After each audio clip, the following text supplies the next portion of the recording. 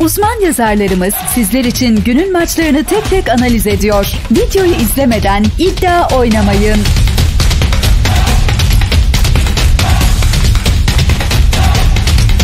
Hollanda Ligi'nde Nijmegen ile Herakles karşı karşıya geliyor.